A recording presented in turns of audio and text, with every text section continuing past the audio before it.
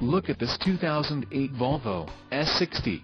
This S60 has just under 116,500 miles.